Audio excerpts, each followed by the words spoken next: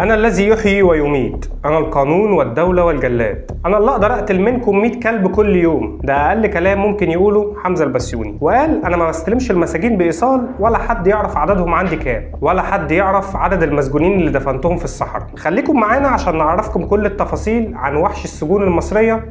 حمزة البسيوني.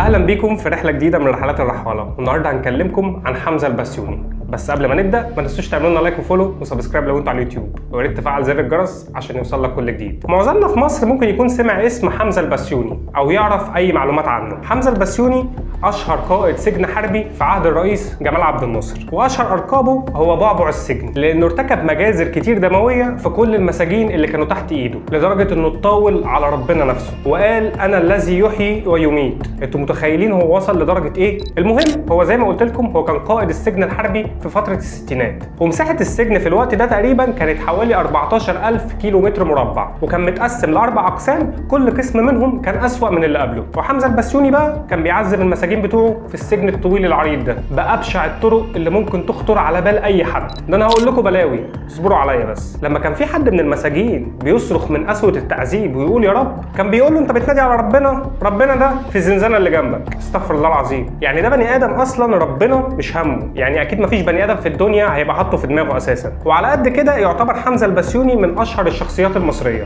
طب واحد هيقول لي مشهور بإيه يعني؟ مشهور بالفساد في عهد الرئيس جمال عبد الناصر. تحس إن هو بيحقق target كده من بعد ما اتخرج من الكلية الحربية. وانضم لتنظيم الضباط الأحرار اللي هم عملوا انقلاب على الملك فاروق ونجحوا فعلا إن هم يمشوا من الحكم. وبعد ما استلم جمال عبد الناصر رئاسة الجمهورية تم تعيين حمزة البسيوني قائد للسجن الحربي. ومن هنا بدأت سلسلة المجازر والجرائم اللي عملها. كان راجل جريء وظالم وطاغي. لا حد بيهمه ولا حد بيخاف منه.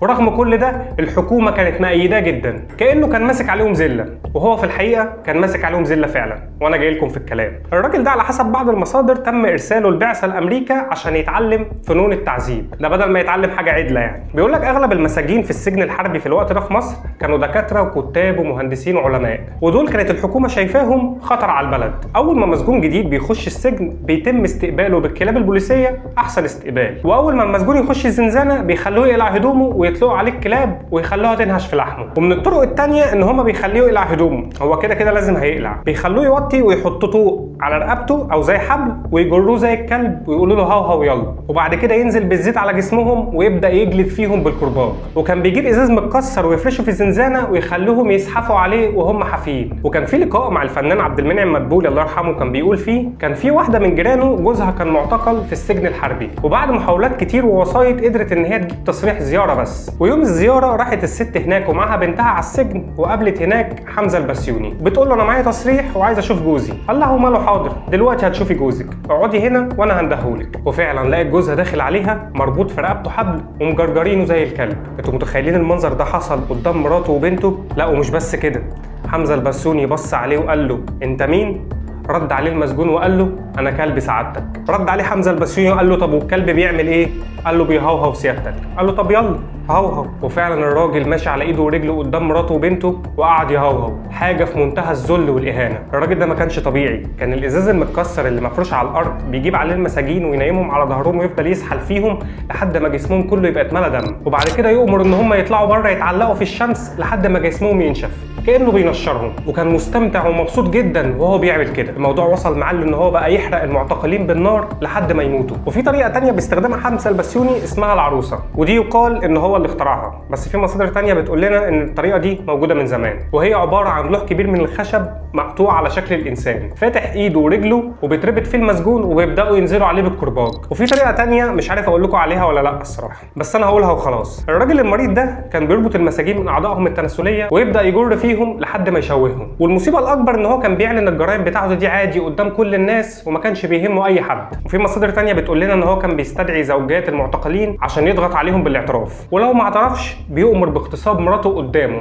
حاجة في منتهى القذاره ومحدش يعرف كام عدد المساجين اللي ماتوا تحت إيده أو اللي اترموا في الصحراء. لا وبيقول كمان إن بعد ما بيقتل الناس دي كلها بتوصله رسائل شكر ومحدش يقدر يكلمه أو يسأله في إن هو بيعمل كده ليه. ومن أشهر المساجين اللي حبسهم حمزة البسيوني هو الكاتب والصحفي مصطفى أمين. وقال مصطفى أمين في كتابه سنة أولى سجن بعد ما وصلت السجن الحربي بعد ما خرجت من سجن المخابرات نقلوا حمزة البسيوني في زنزانة صغيرة وكان معاه كلبين. الكلبين دول كان واحد اسمه ميمي وواحد اسمه ليلى. دول أسماء فتيات ليل مش كلاب خالص. وأول ما دخلوا عليه قعدوا يقطعوا في هدومه وينهشوا في لحمه. من شراسة الكلاب ده بيقول لك حتى وهم قافلين بقهم كان الناب بتاعهم طالع لبره. والكلاب دي عرف بعد كده مصطفى أمين إن هم مدربين إن هم يقطعوا أي بني آدم قدامهم مجرد ما حمزة البسيوني يمد إيده بإشارة. وقال إنه في يوم من الأيام أخدوه على مكتب حمزة البسيوني وكان متجمع هو وكام ظابط هناك. واحد من الظباط اللي قاعدين قال له اقلع هدومك كده بص له باستغراب وقلع هدومه. الظابط قعد يبص على جسمه وبعد كده بص لحمزة البسيوني باستغراب وقال له إيه ده يا عم؟ ده أنتوا مدلعين الناس عندكم. وفي نفس اللحظة الشاويش اللي كان واقف وراه نزل جلد وضرب بالكرباج عليه. وذكر مصطفى أمين وقال إن آثار الضرب والجلد فضلت معلمة في جسمه لمدة سنة كاملة. وبعد ما خلص ضرب فيه كان خلاص الشاويش هيرجعه الزنزانة راح قال له حمزة البسيوني لا. خليه مسلينا. انده لنا لاكي ويطلع مين لاكي ده؟ مصطفى أمين قال أنا شفت قدامي شيء مستحيل حد يصدقه. قال أنا شفت قدامي كلب ضخم جدا في حياتي ما شفتش زيه. شكله بشع ويخوف وحجمه في حجم الحمار. وأول ما حمزة البسيوني بس اداله إشارة راح هجم عليه. صرخ مصطفى أمين ساعتها بأعلى صوته ونط ورا واحد من الظباط اللي كانوا قاعدين عشان يتحمى فيه. ومن شدة هجوم الكلب جرح رجل الظابط اللي كان بيتحمى فيه مصطفى أمين. ولما حصل كده حمزة البسيوني أمر إن الكلب يطلع بره. في سنة 1959 كان في مجموعة من المساجين قاعدين بياكلوا. واحد من المساجين دول قعد على الأرض عادي وهو بياكل.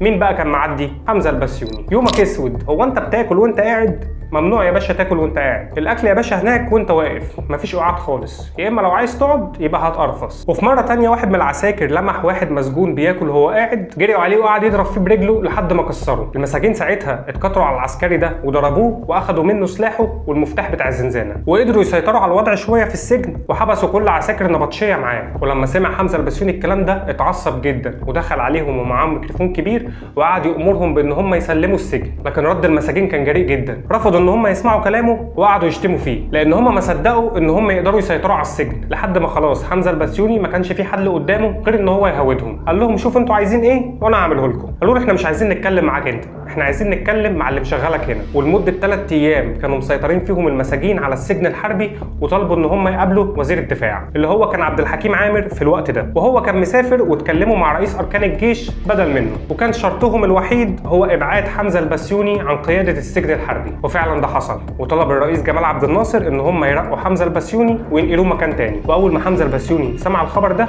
راح على طول على مكتب الرئيس جمال عبد الناصر وطلب مقابلته. وأول ما دخل عليه قعد يبكي ويعيط للرئيس. جمال عبد الناصر استغرب جدا من اللي بيحصل. قال له انت بتعمل كده ليه؟ قال له حمزة البسيوني أنا سمعت كلام من اللواء عبد الحكيم عامر إن أنت حكمت عليا بالإعدام. جمال عبد الناصر بص له باندهاش وقال له أنا ما قلتش كده خالص. قال له أنا قلت لعبد الحكيم عامر إن هو يرقيك وينقلك لمنصب تاني في الجيش ويبعدك عن السجن الحربي. رد عليه حمزة البسيوني وقال له ما هو ده الإعدام يا فندم. أنت لو نقلتني من السجن الحربي يبقى أنت كده حكمت عليا بالإعدام. وأعداء الثورة يا فندم لو طلعت بره هيقتلوني. أنا عايز أرجع للسجن تاني ومش عايز ترقية ولا حاجة. وفعلا الرئيس سمع كلامه ورجعه تاني لقيادة السجن الحربي. ورجع حمزة البسيوني من تاني أسوأ من الأول وانتقم من كل المساجين اللي كانوا موجودين هناك. وبقى كل يوم بالنسبة لهم أصعب من اليوم اللي قبله. حمزة البسيوني بعد رجوعه تاني للسجن بقى فنان في طرق التعذيب. ما هو بينتقم منهم بقى وخلاص بقى. الناس ما بقتش قادرة تستحمل الظلم ده. لحد ما الرئيس جمال عبد الناصر حس إن هو هيفقد منصبه خلاص وفي سنة 1967 أمر الرئيس جمال عبد الناصر بإحالة حمزة البسيوني للتقاعد. وبرضه الكلام ما عجبهوش وحاول يترجى الرئيس من تاني. بس المرة دي كان القرار نهائي ما فيهوش أي نقاش. لدرجة إن حمزة البسيوني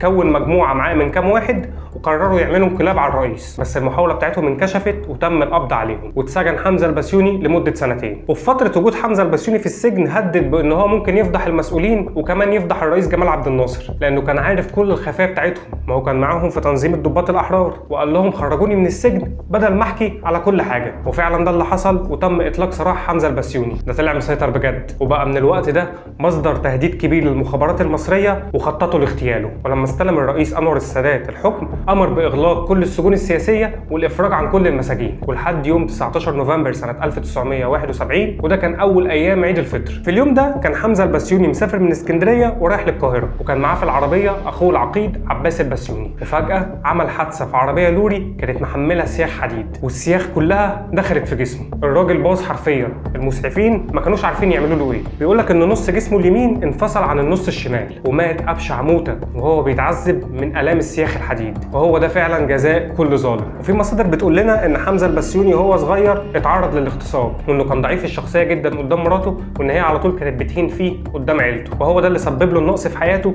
وكان بيطلعه على الناس والمساجين. ولما دخلوا جثته في النعش وراحوا بيه على المسجد عشان يصلوا عليه أكرمكم الله كان كل شوية عمال يعمل حمام على نفسه وهو ميت. لدرجة إن هم غسلوه أكتر من 10 مرات ومفيش فايدة. وما تصلاش عليه في الآخر واتدفن على طول في قبره. وبكده تكون انتهت قصة ملك التعذيب في السجن الحربي. وبكده نكون عرفناكم كل حاجة نعرفها عن حمزة البسيوني. لو أنتوا تعرفوا لنا أي معلومة جديدة يا ريت تقولها لنا في الكومنتات.